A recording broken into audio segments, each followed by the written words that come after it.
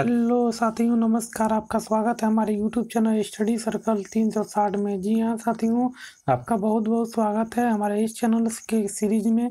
साथियों, हम बता दें इस चैनल के माध्यम से लगातार आपको आईटीआई इलेक्ट्रीशियन की क्लास लगाई जा रही है और साथ ही साथ यूपी आर बिनल टी टू और यूपी टी जी टू के प्रीवियस ईयर के क्वेश्चंस भी कराए जा रहे हैं। तो साथियों यदि आप पहली बार हमारे यूट्यूब चैनल स्टडी सर्कल तीन सौ साठ पे विज़िट कर रहे हैं तो सबसे पहला काम कि आप हमारे स्टडी सर्कल तीन सौ साठ को सब्सक्राइब कर लीजिए और साथ ही साथ बेल आइकन को भी प्रेस कर लीजिए जिससे आपको हर एक नोटिफिकेशन सबसे पहले आपके पास पहुँच जाए और लगातार आप प्रतियोगी परीक्षाओं में परीक्षाओं में तैयारी में लगे रहे हैं। साथियों मैं बता दूँ इस चैनल के माध्यम से पिछली क्लास में हमने आपको अर्थिंग का चैप्टर कराया था वहाँ पे एक्सप्लेनेशन के साथ आपको बताया था कि किस प्रकार की अर्थिंग कहाँ की जाती है हाँ। और क्या उसके मेरिट होते हैं क्या डिमेरिट होती हैं क्या उसके आई एस रूल हैं वो सारा चीज़ें मैंने आपको बताया था। अब इस सीरीज़ में मैं बता हाँ। बताना चाहूँगा आपको उसी चैप्टर से रिलेटेड क्या ऑब्जेक्टिव टाइप के क्वेश्चंस बनते हैं उनके बारे में हम आपके सामने रिप्रेजेंट कर रहे हैं अपने यूट्यूब चैनल स्टडी सर्कल तीन सौ साठ के माध्यम से। साथियों मैं बता दूँ कि ये जो टॉपिक है, बहुत ही अच्छा है। अर्थिंग चैप्टर से ये टॉपिक लिया गया है। साथियों, मैं बता दूँ, यदि आपने हमारे पुराने वीडियो को वॉच नहीं किया तो आप हमारे पुराने वीडियो को वॉच करने के लिए स्टडी सर्कल तीन सौ साठ को सब्सक्राइब कर लीजिए और उसके प्लेलिस्ट में जाके सारी प्लेलिस्ट में पड़ी हुई हैं। आई इलेक्ट्रिशियन क्लास वहाँ से आप सीधे सीधे देख सकते हैं और प्रीवियस ईयर के क्वेश्चन भी कराए गए हैं उसको भी आप वॉच कर सकते हैं। तो आइए सतियों ज़्यादा देरी ना करते हुए हम चलते हैं अपने पहले टॉपिक पे। हमारा पहला ऑब्जेक्टिव टाइप का क्वेश्चन क्या है उसके बारे में हम आपको बताते हैं। तो आइए चलते हैं। ये ये अर्थिंग चैप्टर के ऑब्जेक्टिव क्वेश्चन की सीरीज़ रहेगी। तो इस सीरीज़ में कम से कम 20 से 25 क्वेश्चन आपको देखने के लिए मिलेंगे। इस सीरीज़ में बहुत ही इंपॉर्टेंट क्वेश्चन होंगे जो आपके आई टी इलेक्ट्रीशियन के लिए बहुत ही लाभकारी होगा। तो आइए चलते हैं देखते हैं हमारा पहला प्रश्न है। अर्धचालक अर्धचालक फिल इन द ब्लैंक को पृथ्वी में प्रेषित करने के लिए पथ उपलब्ध कराता है। जी हाँ साथियों जो हमारा अर्थ कंडक्टर होता है किसको पृथ्वी में प्रेषित करने के लिए उपलब्ध कराता है? तो साथियों मैं बता दूँ ये लीकेज धारा जी हाँ साथियों मैंने अपने पुराने पिछली वीडियो में मैंने बताया था ये अर्थ क्यों किया जाता है कि लीकेज करंट को अर्थ कराने के लिए अर्थ किया जाता है। तो मैं बता दूँ इसका ऑप्शन नंबर ए सही होगा लीकेज धारा धारा को अर्थ करने के लिए। अर्थ करने के लिए अर्थ कंडक्टर का प्रयोग किया जाता है। दूसरा प्रश्न हमारा है घरेलू वायरिंग में अर्थ लाइन के लिए घरेलू वायरिंग यानी कि हमारा जो हाउस वायरिंग होता है उसमें अर्थ लाइन के लिए प्रयुक्त तांबे का तार का न्यूनतम आकार कितना होना चाहिए? तो मैं बता दूँ साथियों न्यूनतम आकार कम से कम दो एम एम स्क्वायर का होना चाहिए। कितना? दो एम एम स्क्वायर का होना चाहिए। कापर का तार। जो घरेलू वायरिंग में अर्थ के रूप में प्रयोग किया जाता है, उसकी जो मोटाई होनी चाहिए, दो एम एम स्क्वायर की होनी चाहिए। यानी कि option will option number B will be right two M M square फिर अगला है कि मानव शरीर की जल में भीगी हुई त्वचा का प्रतिरोध कितना होता है? जी। हाँ साथियों यदि कोई मानव है और उसका पूरा शरीर भीगा हुआ है तो उस पूरे भीगे हुए शरीर का रेजिस्टेंस कितना होता है? इन्होंने पूछ रखा है। तो मैं बता दूँ कि भीगी त्वचा का ये आपको रट लेना है याद में जहन में अपने रख लेना है कि कोई भी मानव भीगा हुआ मानव है तो उसके पूरी त्वचा का जो रेजिस्टेंस होगा वो एक किलो होगा। कितना होगा? एक किलो ओम होगा यानी कि option number B will be right one kilo ohm is the resistance of गीला शरीर या गीली त्वचा मानव शरीर की जो त्वचा होती है यदि गीला है तो उसका एक किलो ओम प्रतिरोध होता है। फिर कर रहा है पाइप भू संयोजन यानी कि पाइप अर्थिंग की बात कर रहा है। जी हाँ साथियों पाइप अर्थिंग में जी आई पाइप का न्यूनतम व्यास कितना होना चाहिए?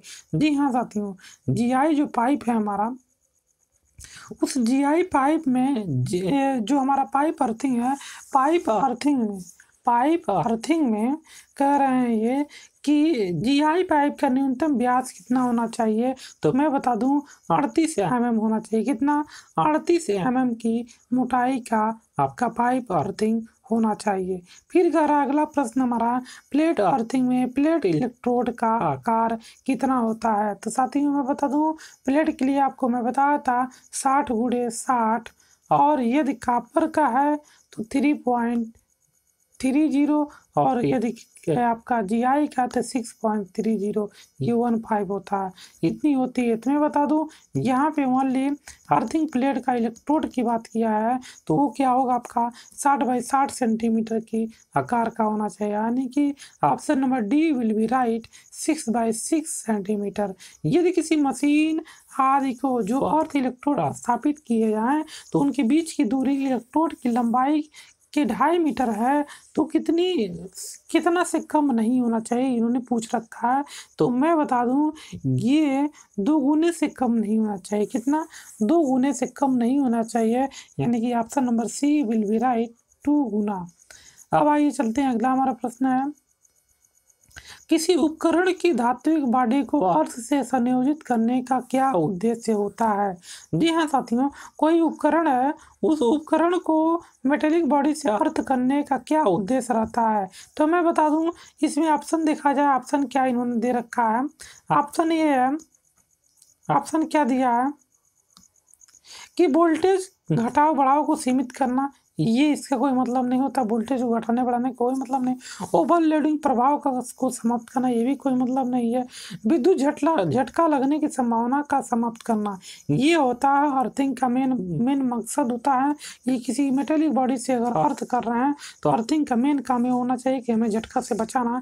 यानी कि option number C will be right विद्युत झटका लगने की संभावना को समाप्त करना ही धात्विक बॉडी यानी कि मेटेलिक बॉडी को अर्थ किया जाता है।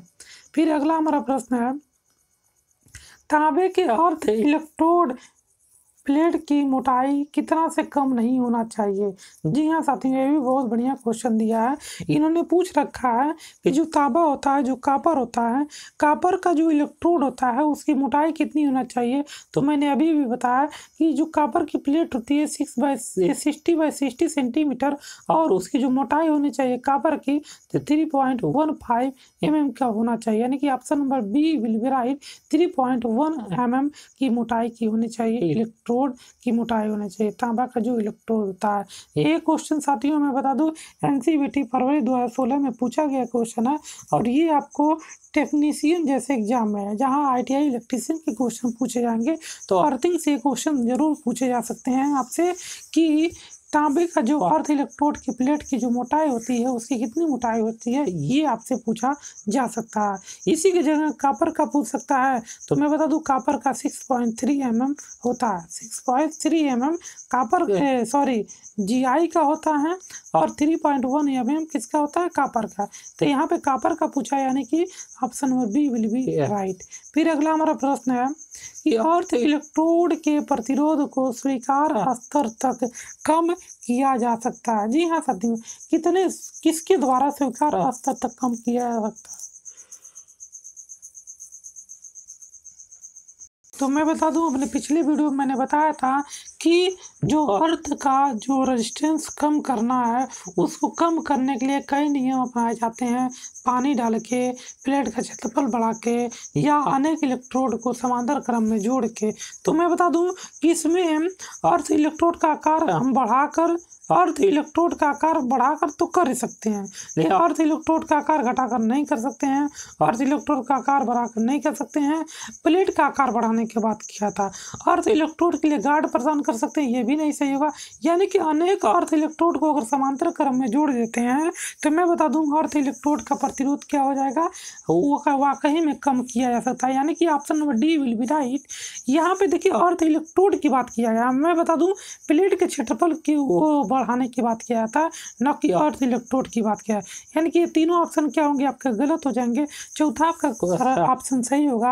अनेक अर्थ इलेक्ट्रोड को समांतर क्रम में जोड़ दिया जाए तो अर्थ इलेक्ट्रोड के प्रतिरोध का जो मान होता है वो कम हो जाएगा। यानी कि option number D will be right ठीक अगला हमारा प्रश्न है। अर्थिंग युक्त उपकरण को अर्थिंग युक्त उपकरण को किससे बचाता है?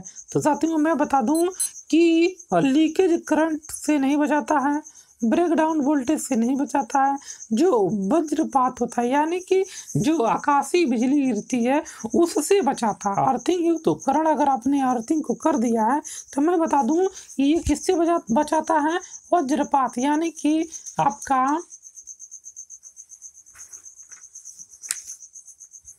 यानी कि जो बिजली आकाशीय बिजली गिरती है उससे बचाने का काम करता है यानी कि option number C will be right वज्रपात। फिर अगला हमारा प्रश्न है प्लेट अर्थिंग में प्लेट का न्यूनतम आकार कितना होना चाहिए? जी हाँ साथियों, अभी अभी पिछले मैंने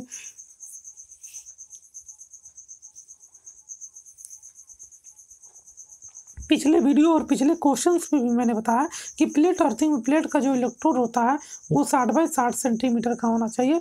ये आपको रट लेना है। यानी कि option number D will be right यदि तीस बाई तीस सेंटीमीटर के पूछा है ये होता है पाइप के लिए होता है। अब मैं बता दूँ पाइप के लिए ये क्या होता है? गड्ढा होता है। लेकिन यहाँ पे ये होगा आपका प्लेट अर्थिंग की बात किया है यानी कि साठ बाई साठ सेंटीमीटर का इलेक्ट्रोड का आकार होना चाहिए कम से कम साठ बाई साठ का।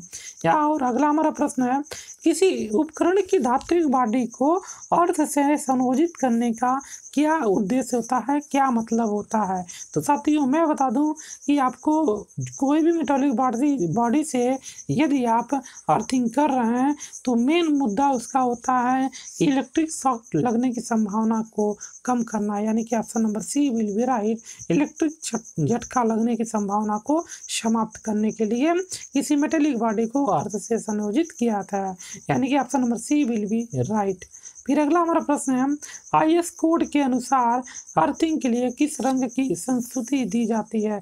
जी हाँ साथियों, ये भी बहुत बढ़िया क्वेश्चन है। तो मैं बता दूँ कि कर अनुसार I S I S code के अनुसार। तो मैं बता दूँ कि ये जो आई एस कोड के अनुसार जो अर्थिंग का कलर कोड होना चाहिए वो हरा होना चाहिए। यानी कि option number B will be right अब मैं बता दूँ इसमें देखिए यहाँ पे भी रो आया है अर्थिंग में भी रो आया है रंग की बात क्या है? र आ रहा है तार की बात क्या है कि र आ रहा? यानी कि ह रा। हरा जो होता है आपका अर्थिंग के लिए अर्थिंग का जो वायर होता है वो आई एस के अनुसार हरा होना चाहिए। यानी कि option number B will be right green. फिर अगला हमारा अंतर्राष्ट्रीय मानक I C six zero three six four में दो अक्षरों वाले कोड का प्रयोग करते हुए अर्थिंग व्यवस्था को कितने अवयवों में बांटा है? जी हाँ साथियों अर्थिंग व्यवस्था को कितने भागों में बांटा गया है? ये बहुत ही लाजवाब क्वेश्चन है और बहुत ही बेहतरीन क्वेश्चन है। तो मैं बता दूँ अर्थिंग व्यवस्था को तीन भागों में जनरली बांटा गया है यानी कि option number D will be right तीन अध्यायों में बांटा गया है। फिर अगला हमारा प्रश्न है अर्थिंग के लिए उपयोग होने वाले, जी हाँ साथियों अर्थिंग के उपयोग होने वाले राड या पाइप इलेक्ट्रोड का साइज़ कितना से कम नहीं होना चाहिए? जी हाँ साथियों, ये बहुत बढ़िया क्वेश्चन है। पाइप और राड अर्थिंग के लिए। मैं बता दूँ पाइप और राड अर्थिंग का मैंने बखूबी एक्सप्लेनेशन अपने पुराने वीडियो में कर रखा है। और वहाँ पे मैंने बताया था कि अगर आप गड्ढा खोद रहे हैं या पाइप को डाल रहे हैं तो उसकी जो लंबाई होना चाहिए ढाई मीटर से कम नहीं होना चाहिए। या यानी कि option number D will be right ढाई मीटर से कम नहीं होना चाहिए। फिर अगला हमारा प्रश्न है जब अर्थिंग के लिए, जब अर्थिंग के लिए पाइप इलेक्ट्रोड का उपयोग किया जाना हो तो इसे स्थापित करते समय इसका नीचे वाला सिरा भूमि से कितना सेंटीमीटर ऊपर रखना चाहिए? जी हाँ साथियों भी बहुत गजब क्वेश्चन है। तो मैं बता दूँ कि पाँच सेंटीमीटर से ऊपर ही रखना चाहिए। पाँच से दस सेंटीमीटर रखना चाहिए। इसलिए इसका option number D will be right five centimetre से ऊपर रखना चाहिए, जिससे आप आसानी से उसमें पानी डाल सकें। और पानी डालने से ये होगा कि वहाँ नमी बरकरार रहेगी। इसीलिए ये जो फनल होता है, जो पाइप होता है, उसको पाँच सेंटीमीटर ऊपर रखना चाहिए। भूमि से। फिर अगला हमारा है पाइप अर्थिंग में पाइप इलेक्ट्रोड का आंतरिक व्यास कितना होना चाहिए? जी हाँ साथियों पाइप जो अर्थिंग है तो उसमें जो आप इलेक्ट्रोड यूज़ कर रहे हैं उसका इंटरनल डायमीटर कितना होना चाहिए ये आपको जानना बेहद ज़रूरी है। तो मैं बता दूँ उसका इंटरनल बायोडाटा अड़तीस एम से अधिक नहीं होना चाहिए। अड़तीस एम में आपका आंसर क्या होगा? राइट होगा। पाइप अर्थिंग में पाइप इलेक्ट्रोड का आंतरिक व्यास अड़तीस एम एम के बराबर होना चाहिए। फिर अगला हमारा प्रश्न है पावर स्टेशनों में प्रतिरोध का मान कितना होना चाहिए? जी हाँ साथियों जब मैं पुरानी अपने पिछली वीडियो में अर्थिंग का चैप्टर स्टार्ट किया था तो वहाँ पे तीसरा टॉपिक ही मैंने आपको बताया था। तीसरा टॉपिक आपको मैंने बताया था कि पावर स्टेशनों का प्रतिरोध कितना होना चाहिए। तो मैं बता दूँ कि पॉइंट ज़ीरो पॉइंट फाइव से एक ओम तक ज़ीरो पॉइंट फाइव से एक ओम तक पावर स्टेशनों का रजिस्टेंस होना चाहिए। ये इसका आईएस के अनुसार ये मानक रखा गया है। यानी कि option number B will be right point five ohm से एक ओम तक। फिर अगला हमारा प्रश्न है जी आई पाइप का उद्देश्य क्या है? जी हाँ साथियों जीआई पाइप का उद्देश्य क्या है? ये इन्होंने ये पूछ रखा है। तो मैं बता दूँ जीआई पाइप का उद्देश्य भू संयोजन यानी कि अर्थिंग तार की सुरक्षा के लिए जी आई पाइप का मेन उद्देश्य होता है। यानी कि option number A will be right फिर अगला हमारा प्रश्न है पाइप अर्थिंग में कास्ट आयरन की फ्रेम की साइज़ कितनी होनी चाहिए? तो मैंने अभी भी बताया तीस बाई तीस सेंटीमीटर का होना चाहिए। ये वीडियो मैं बता दूँ अर्थिंग का जो वीडियो है इसका बहुत ही अच्छे से एक्सप्लेनेशन किया गया है। तो ज़रूर आप उसको देखिए और वहाँ पे आपको पीडीएफ भी दिया गया है जो हमारे नोट्स है उस नोट्स का पीडीएफ भी आपको दे दिया गया है। तो साथियों ज़रूर आप स्टडी सर्कल 360 को अगर पहली बार विज़िट कर रहे हैं तो हम बता दें तहे दिल से शुक्रिया अदा करते हैं। और साथ ही साथ आप आप क्या कीजिए स्टडी सर्कल तीन सौ साठ के चैनल को सब्सक्राइब कर लीजिए और साथ ही साथ बेल आइकन को भी प्रेस कर लीजिए। आइए आगे चलते हैं अगला हमारा प्रश्न क्या है? अगला प्रश्न है नीचे दिए गए दर्शाएग में अर्थिंग किस प्रकार की अर्थिंग है? तो मैं बता दूँ ये है आपका पाइप प्रकार की अर्थिंग क्या है? पाइप प्रकार की अर्थिंग है। इसलिए मैं बता दूँ ऑप्शन नंबर ए आपका क्या होगा? ये सही होगा। फिर अगला हमारा प्रश्न है, भू इलेक्ट्रोड भू इलेक्ट्रोड प्रतिरोध को मापते समय कौन सी धारा प्रयुक्त नहीं करनी चाहिए? जी हाँ साथियों, इलेक्ट्रोड प्रतिरोध को मापते समय किस बिजली का प्रयोग नहीं करना चाहिए? तो मैं आपको बता दूँ डीसी करंट का प्रयोग नहीं करना चाहिए, यानी कि option number D will be right DC current फिर अगला हमारा प्रश्न है, साथियों, कि भू संपर्क है यानी कि अर्थिंग के लिए उपयोग हुई लोहे या स्टील की इलेक्ट्रोड राड कम से कम सोलह एम एम व्यास की होनी चाहिए, तथा लंबे तथा तांबे के लिए, तथा तांबे के लिए कितने व्यास का होना चाहिए आपका? तो मैं बता दूँ, साढ़े बारह एम एम साढ़े बारह एम एम का तांबे के लिए न्यूनतम व्यास होना चाहिए यानी कि option number D will be right तो साथियों मैं बता दूँ ये क्वेश्चन का सीरीज़ कैसा लगा? ज़रूर आप लोग कमेंट बॉक्स में कमेंट करके बताइएगा। यदि आप पहली बार विज़िट कर रहे हैं स्टडी सर्कल तीन सौ साठ पे तो सबसे पहला काम कि आप इस वीडियो को ज़्यादा से ज़्यादा शेयर कीजिए और इसको यदि आपने सब्सक्राइब नहीं किया हमारे चैनल को तो सब्सक्राइब कीजिए और यदि आपने हमारे पुराने वीडियो को नहीं देखा है तो आप पुराने वीडियो को भी देख ले सकते हैं। हमारे स्टडी सर्कल तीन सौ साठ के क्या है कि प्ले लिस्ट में। तो साथियों, आज के लिए बस इतना है। तब तक के लिए नमस्कार। फिर मिलते हैं अपने अगले वीडियो में।